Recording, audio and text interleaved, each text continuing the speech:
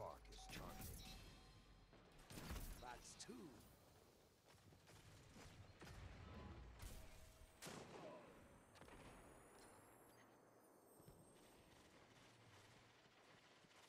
The spark is ready. Seize it.